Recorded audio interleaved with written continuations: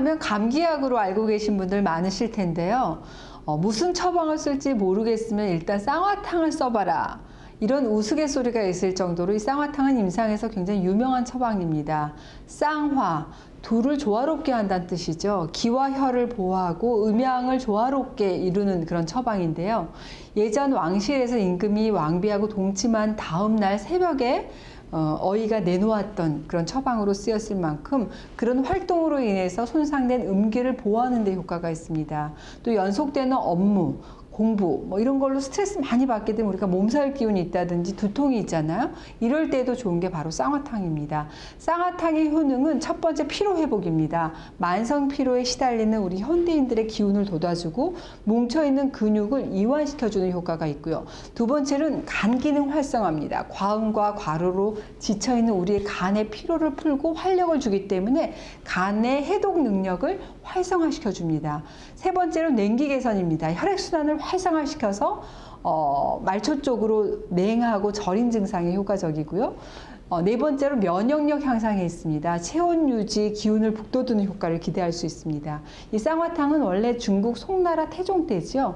그 진사문이란 분이 황제의 어명을 받들어 갖고 지은 의서가 있어요. 그게 바로 태평해민 화제국방이란 책에 처음으로 언급이 되었습니다.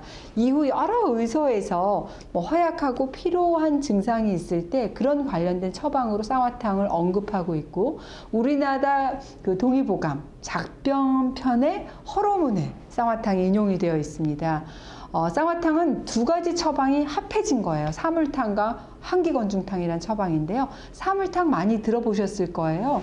어, 숙지왕, 당귀천궁, 백작약 이 네 가지로 구성된 그 처방인데 주로 이제 빈혈이 있다든지 어지럽고 혈색이 창백한 그런 증상을 혈어증이라고 얘기를 하는데 그럴 때 많이 쓰이는 대표적인 처방이 이 사물탕입니다. 근데 이 쌍화탕은 사물탕 플러스 환기건중탕이라고 생각을 하시면 돼요.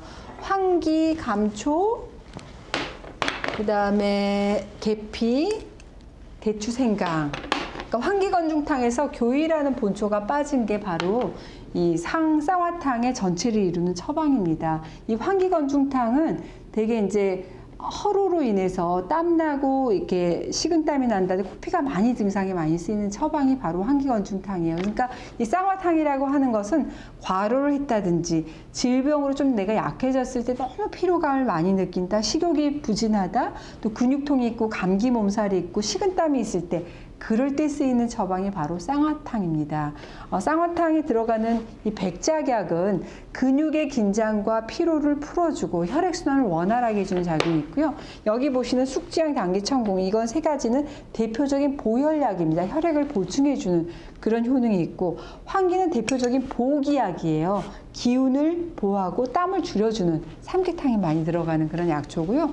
또 맵고 쓰, 아, 맵고 뜨거운 그 열성이 있어가지고 기혈을 빠르게 순환시키는 효과가 있는 뭐 계피, 생강, 감초 이런 것들을 말초 쪽으로 혈액순환을 원활하게 하기 때문에 냉한 몸을 따뜻하게 하는 효과가 있습니다. 이 쌍화탕 하게 되면 요 기억하세요. 그 과로로 인해서 내 온몸이 쑤시는 몸살 감기에 저는 쌍화탕을 추천합니다.